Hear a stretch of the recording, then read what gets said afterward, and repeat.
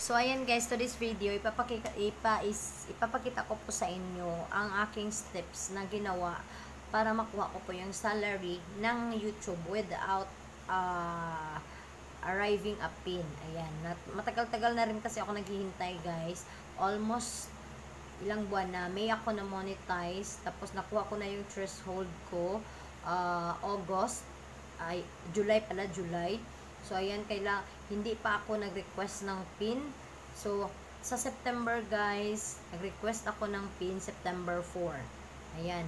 First, first ko yun na request. After September 4, wala pa rin dumating na pin. So, October 4, guys, nag-request ako ulit ng pin. After October 4, nag-request ako. Pero wala pa rin, ang, wala pa rin din dumating. So, naisipan kong magtanong-tanong, maghalagilap ng mga ano-ano dyan sa, ano kung paano uh, makukuha yung pin or salary natin without pin or kahit hindi dumating yung pin. So, after October 4, hindi pa dumating, October 25 guys, pwede na, pwede, pwede na palang mag-request uli. Pang third ko na request October 25. So, nag-request ako guys after ko nag-request ng October 25, ayan, nag, uh, nakalagay doon na maghintay ng 5, 5, 5 days or 2 to 4 weeks pa din. So, after nyan, guys, naghintay ako. Pagka after tomorrow, nag-troubleshoot ako, guys. Kaso, almost 2 days talaga ako, guys, nagano kasi hindi ko na, hindi, hindi na sa submit. Bali, nababasura siya ni YT na ni Google. So, yan, nababasura siya ni Google, kaya, hindi ko talaga, lagi ako nag-iisip kung bakit, eh, okay naman, sakto naman yung information, tsak, yun pala, guys, pangatlong ano ko, uh, pangatlong submission ko, guys, yun, yung name ko kasi, guys, uh, yung model initial ko, nilagyan ko lang siya ng O, tapos dot, Bali Mary Ann O. Guevara, yung ganon.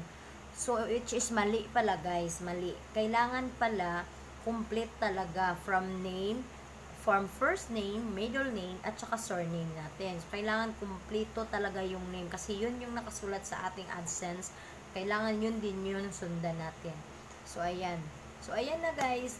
Uh, ipapakita ko sa inyo ngayon kung ano yung steps ko, paano ko ginawa, at para malaman nyo rin ang steps or ma mabigyan nyo rin, mabigyan ko rin, ma makakuha din kayo ng any idea kung makakakuha kayo ng any idea from me. Ayan. So, watch out natin guys uh, kung magkano yung aking sahod. Uh, um, ano, for almost, nung, mula nung na-monetize ako, uh, May, June, July, August, September, October. Bali, 5 months, guys. Pero nakuha ko kasi yung threshold ko, August na. September, October.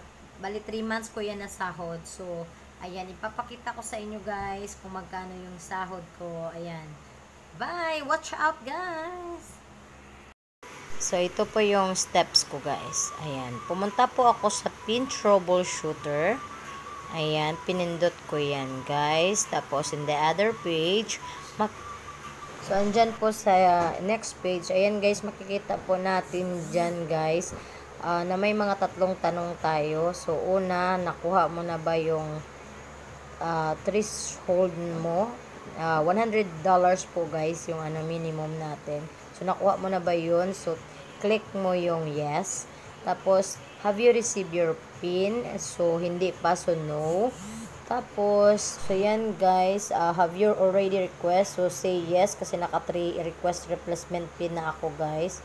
So, and then, punta tayo sa, ayan makikita nyo dyan guys, please contact us. Pundutin nyo lang yung contact us. Tapos, punta na tayo sa next page. Ayan. So, sa next page guys, makikita nyo po dyan yung fill upan nyo uh, kailangan nyo talagang complete name. Name mo, uh, middle name mo na complete talaga, at saka yung surname mo na complete din. So, ayan. Tapos, ilagay mo din guys, yung, uh, andyan na kasi nakalagay na kasi yung email ad mo. So, proceed na tayo dyan sa PUB ID mo. Andun yun sa payment, ano, makikita nyo yan dyan. Tapos, kailangan ilagay nyo yung PUB, guys. PUB, tapos yung number. Ay, yung, ano, ID pin. Tapos, mag, download kayo ng picture ng government ID or any government ID mo. Yun yung ilagay nyo dyan sa choose file. Pagkatapos nyan, guys, pagkatapos yung malagay dyan, mag-submit na kayo. Yan, yan lang po guys, isasubmit nyo lang yan gan. Tapos magme-message si Google sa inyo, mag-e-email siya na uh, submitted na yung AdSense nyo. Ayan. And then guys, magme-message uli si at si Google AdSense. Ayan, na, kay, na remind niya sa inyo kung yung form of payment nyo, ayan, sure na ba yan? Ayan. So, ayan, mag ay, email na din siya guys ng verification nyo. Tapos, ayan na yung check your payment receipt na guys. So, ayan, mag-email din siya sa iyo ng yung, ayan, yung, yung ano nyo na, yung MTCN nyo na sa Western Union. So, ganyan lang po ka-simple guys. Kaya tara, punta tayo sa Western. Ayan, punta na po ako ng Western. So, ito try natin kung kunin po natin yung sahod natin sa YouTube. So, ayan, excited na ako guys. Ay, for the first time. So, pupunta tayo doon guys. Wala nga tricycle. So, ayan, naglalakad na lang tayo papunta doon.